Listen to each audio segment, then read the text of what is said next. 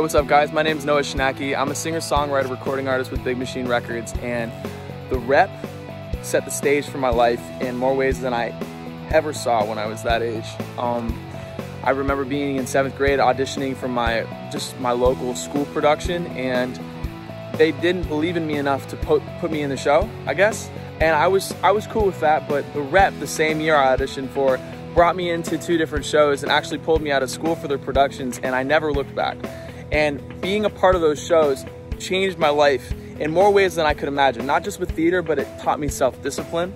It taught me that I could believe in myself even when other people didn't see my vision didn't believe in me. Uh, and I took that with me throughout my career. I took it all the way to Broadway tours. I took it from that all the way into sitcoms like How I Met Your Mother when I was a young kid and, and then even pivoting into country music, that self-discipline and believing in myself, even when others tell me I can't do it, it, is something that the rep taught me early on and I will never forget it. And that is why I'm sitting here on a Friday taking some time to make this video because I could not be the person I am without the un without the unbelievably helpful traits that the rep taught me. So if you would, please join me in supporting the Orlando Rep by giving a gift today at orlandorep.com.